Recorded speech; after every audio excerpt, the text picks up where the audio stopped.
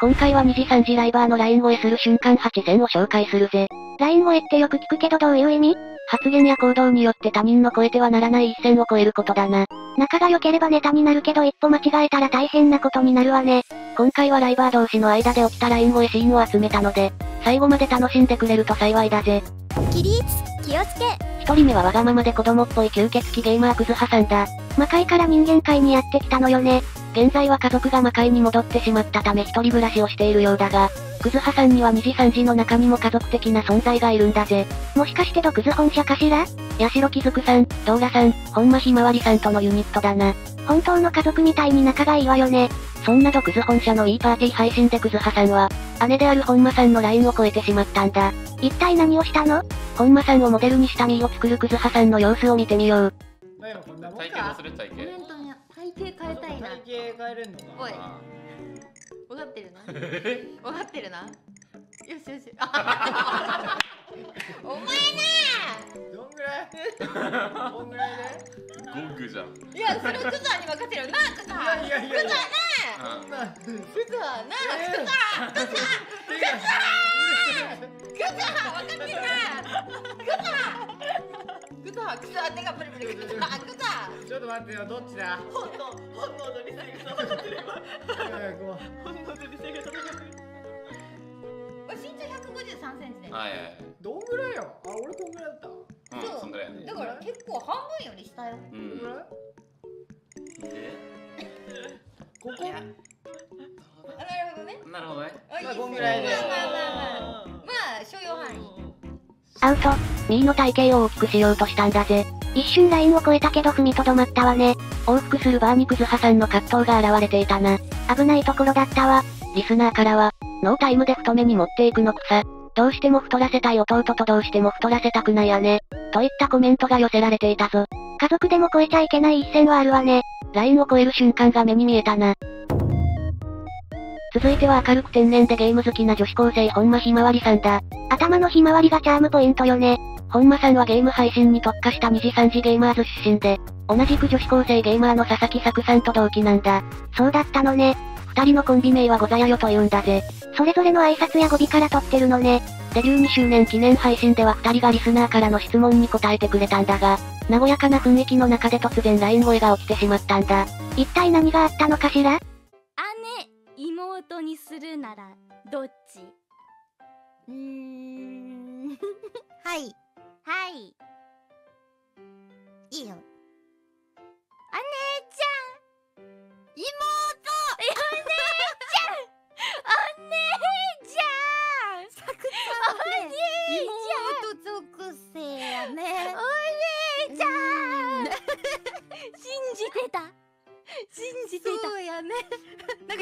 寄ってきた寄ってきた。くんかくんか。寄ってきた。パーカクさん。あごめん。おいおいおいおいライン超えたな。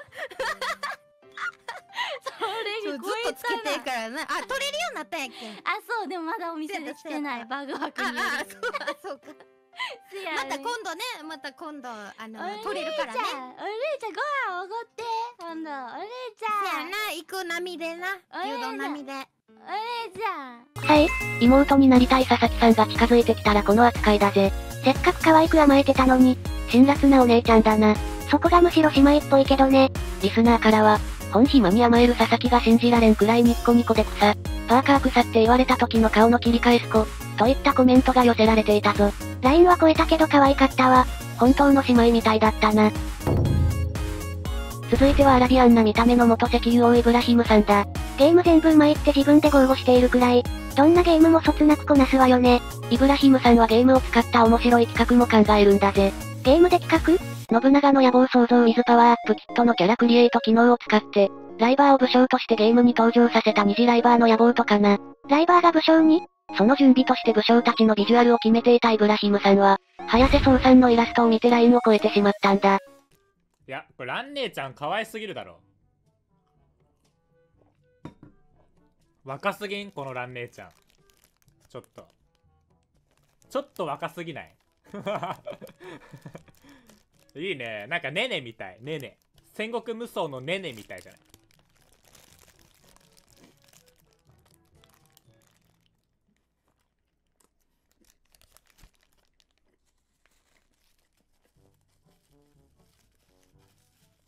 ライン越え元から若いわあの人そういえばそうよ、もともと若いわよ。早瀬さんのイメージよりも幼いと言いたかったんだろうな。言葉選びを完璧に間違えたわね。リスナーからは、ライン越えからの取ってつけたような雑なフォロー本末さ。このラン姉ちゃんはガチで可愛い。といったコメントが寄せられていたぞ。ラン姉ちゃんは元から可愛いけどね。絵に描いたようなライン越えだったぜ。続いては公式美少女錬金術師ライバーのアンジュカトリーナさんだ。ハスキーボイスが素敵なイケメン、じゃなくて美少女よね。そんなアンジュさんは渋谷はじめさんの10万人記念配信に突した時に、自らラインを踏み越えてしまったんだ。どういうこと？アンジュさんははじめさんに料理の話題を振られたんだが、自炊と呼べるかどうか怪しいほどの料理しかできていなかったんだ。それってアンジュ側のラインじゃない？その後の会話を聞いてみよう。なんかそのやっぱり錬金術的なのでなんかどうにかならないんですか？錬金術師的なのでどうにかはならないです。あ料理はならないんですね。ならない。目玉焼きも失敗する人間なああーなるほど。のでならないが正解です。はい。えなんか料理料理教えましょうか？その笑いながら言うのはちょっと先輩に言うのもあれですけど失礼ですよ。半笑いでそう来るのは失礼です。なんかね大丈夫かなっていうああのほらね今後なんかこう。ご飯炊けるんで。ご飯だけご飯自分炊けるんで。あなるほど、ええ。あなるほど。いやなんかほらねあの将来将来そのねご結婚された際にうん。なんかこう ちゃんと作れないと大変だなって思ったんで、よくないと思いますこういう話よくよくないと思いますやっぱりこういう話って。あよくないです、ええ。あそうそうですえね。あんまりそうそうですね。ちょっとやっぱ難しいやっぱ話なのであやっぱちょっとねよくないと思いますこういうのは。ちょっとちょっとすみません。ちょっと今のはちょっとセンシティブすぎましたね。そうですね。ちょっと踏み込んだというかあそうですね。私だからよかったけどみたいなところがやっぱ今ありましあーなるほど。ちょっと危なかったですね。たそうですね。そうですもねうちょっとやあもうちょっとまた炎上するところでした。すみませんでした。ちょっと私がもう騒ぎたいたかもしれないので。ええええええ。えなまあそうですね。あそう。はい。あやさんの 3D 配信。はい。なんかすげえクオリティ高かったなって思ったんですよね。あ本当ですか？うん。あれあでもそうですね。あの胸とかがね よかったですよね。あセクハラですかねこれ。いやいやあの急に急に胸の話されてごめんなさいどう返したらいいかなちょっと最近 LINE がわからなかった。ごめんなさい。ごめんなさいちょっと今。あダメですね今のは。ごめんなさい。あのもうわかんなくなってもうて。悪い友達が増えちゃっいやて本当に。いやあの全然俺は大丈夫なんですけどあごめんなさい本当に。あなんか俺はどう返したらいいのかな ごめんなさい。何言ってるの？アンジュさんは 3D お披露目配信でナイスバディを披露したんだぜ。わざわざ自分からそれに言及したのね。超えられたラインをさらに飛び越えていったな。リスナーからは、アンジュから弾きへのライン越えも結局ブーメランアタックで草。あれ？これ弾きじゃなくてアンジュが一人でライン上を反復横跳びしてるだけじゃね？といったコメントが寄せられていたぞ。線引きがわからなくなっちゃったわ。ライン越えの応酬だったな。続いては歌とゲームが好きなバーチャルホストの不破湊さんだ。キリッとした見た目とは裏腹に天然なところが面白いのよね。そんな不破さんは2023年5月までクイズ番組のレギュラーを務めていたんだぜ。2次3次公式の二次食いよね。不破さんは二次クイの初回配信でクイズに回答している時、思わぬ形であるライバーのラインを超えてしまったんだ。一体誰の？不破さんの発言に注意してクイズの解説シーンをご覧いただこう。さあそれでは委員長一人勝ちなるか正解見てみましょう。こちらです。A でした。はい。というわけで残念ながら全員不正解でございました、つくの？いやわかんないね教えてくださいさあまず全然 A っていう理由がわからん、さあちょっとこれ前泉君解説をしてもらっていいですかね、はいまあ A がシークワーサーなんだけど、B はカボスあうん。そして C がスダチ、うん。そしてみんなが答えた D はライムと。今ねライム。っぽい形してるでっかいのがた種がない種がないっていう指摘があったんだけどこの種がないライムっていうのはペルシアンライムと呼ばれる品種で、まあ、これは結構有名な品種だから種がないからライムっていうのは連想してる人もコメント欄で結構多かったんだけど。そうそうそうそう。えちなみにシークワーサーに含まれるノビレチンという成分があって最近はがんや認知症に効果があるとされて結構ね高肥満効果としてもダイエットとしてもあのおいやめろ。今今多分ネーミングで聞いたと思うんだけどにじゃあ偶然繋がったよ偶然ねなるほど本暇一応説明しておくと本暇は本間ひまわりさんのあだ名だが、不破さんにはコーヒマンが本暇に聞こえてしまったようだぜ。よりによってそんなワードリスナーからは、空耳ライン声とかいうアメフト顔負けのコードテクやめろ。不破は空耳っぽいけど、周りが光の速さで止めに入ってライン声っぽく見える。といったコメントが寄せられていたぞ。空耳でライン越えするなんてね。とんでもない聞き間違いだったな。続いてはコーヴァス帝国の女騎士フレン・E・ルスタリオさんだ。見た目はかっこいいのにちょっとこんなところが可愛いのよね。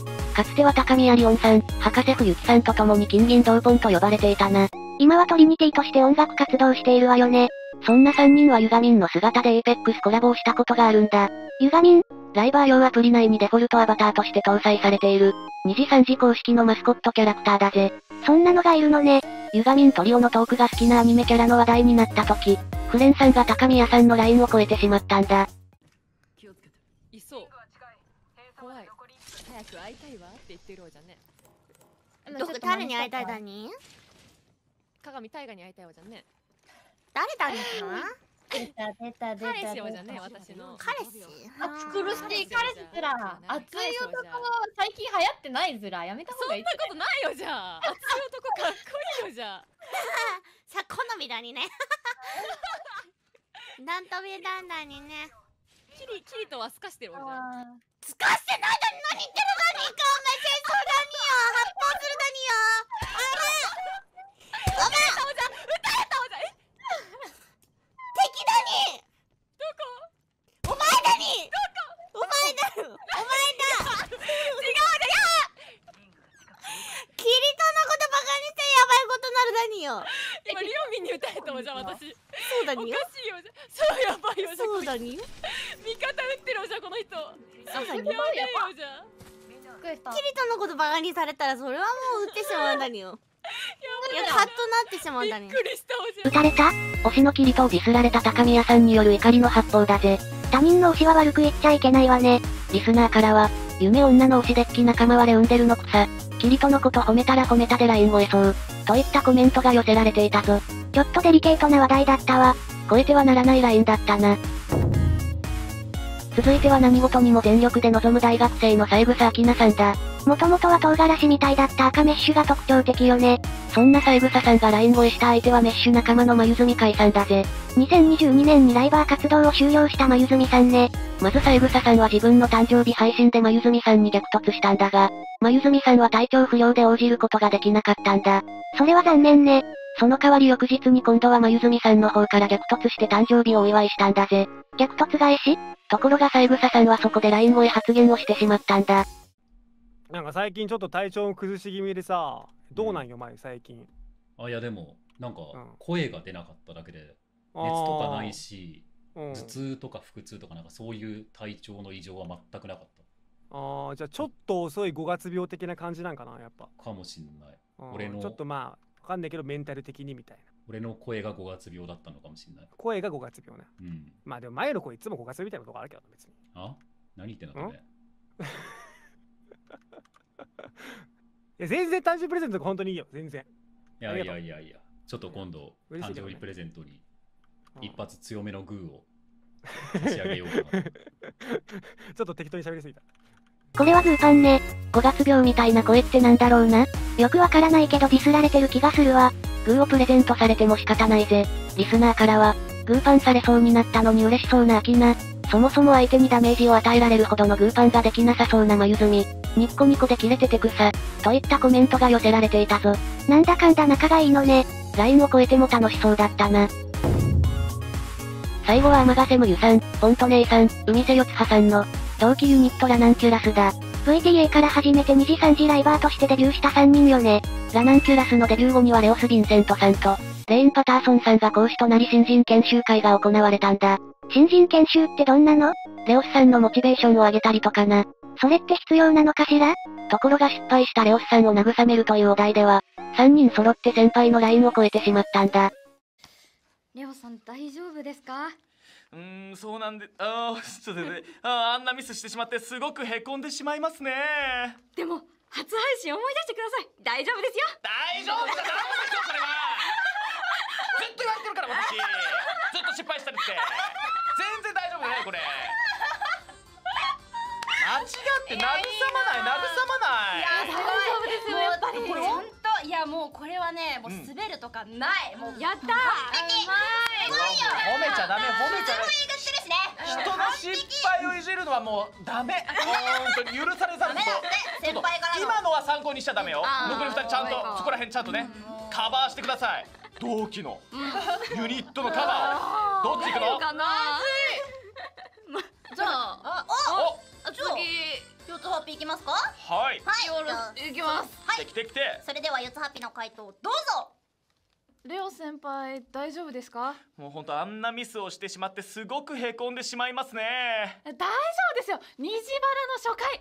あれもほら。ね。大丈夫ですってそれ触れていいことじゃないそれ触れたら喧嘩だぞ。殴り合いの。殴り合いの喧嘩始まると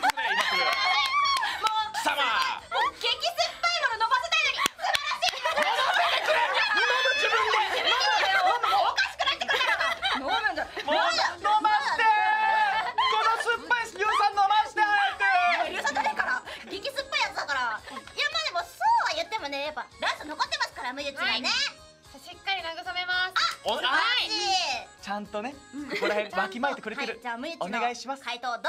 はい。レオさん大丈夫ですか？あんなミスしてしまってすごくへこんでしまいますね。大丈夫ですよ。ムエたち3人がいっぱいは投げ褒めてあげますからね。初配信も虹バラも全然大丈夫ですからね。お前も全部全部俺じゃん。メガマックじゃん。これ。綺麗な三段落ちだわ。デビュー初配信や2時3時の B 級バラエティカッコ仮の話は、レオスさんにとってのラインだったみたいだぜ。そこをピンポイントでつくなんてやるわね。リスナーからは、この3人、って慣れてやがる。完全に JK3 人組におもちゃにされる女子校の先生なんよ。といったコメントが寄せられていたぞ。見事なコンビネーションだったわ。ライン越えのコンボが決まったな。さて、紹介は以上だがどうだったかな？ライバー同士の関係があるからこそエンタメとして成立するものだけど、絶妙なライン越えにハラハラドキドキして面白かったわ。今回の動画で紹介できたのはほんの一部だから、概要欄の元配信もぜひ見に行ってみてほしいぜ。他にもこういうシーンがあればコメントで教えてくれると嬉しいわ。今後もたくさん動画を投稿していくからチャンネル登録、高評価をしていただけるととても励みになるぜ。それでは、ご視聴いただき、ありがとうございました。